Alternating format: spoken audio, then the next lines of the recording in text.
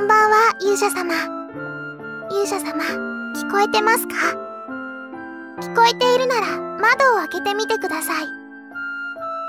そこに広がる空は私が見ているのと同じ星空ですよね。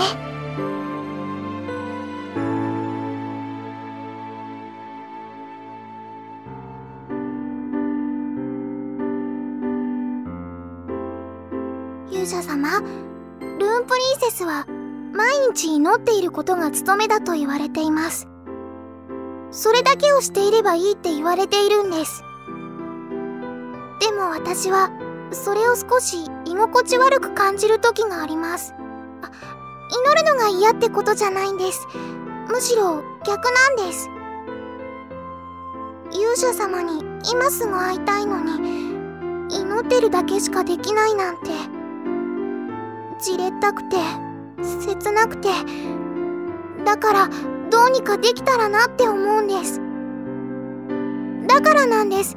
私が夜になると空を見上げるのは。まだ名前のないお星様に挨拶をしてそして名前を考えるんです。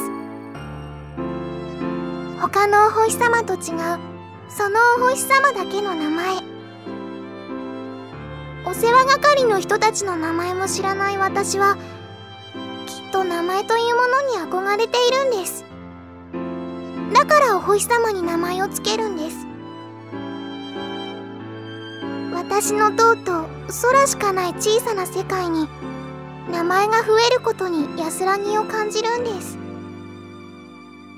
ずっと考えてこれならお星様にも気に入ってもらえるって思うと嬉しいんです。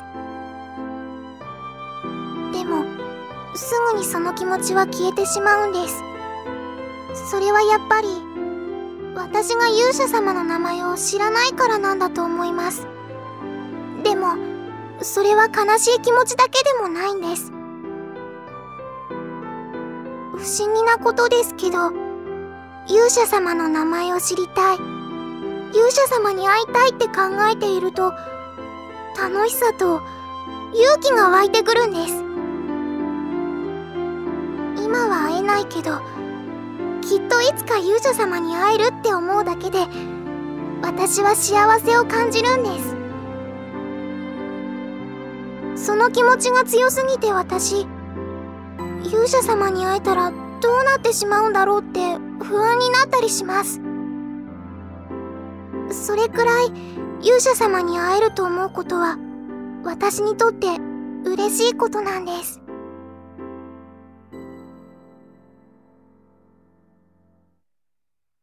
眠れない夜。目をつぶって勇者様のことを思い浮かべると誰かの歌声が聞こえてきます。それはきっと他のルーンプリンセスたちの祈りの歌声なんです。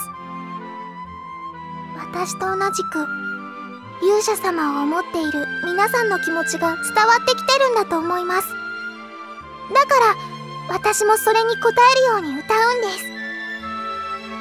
の思いきっとずっともっとあなたに伝わりますようにって。私の歌。そして他の皆さんの歌。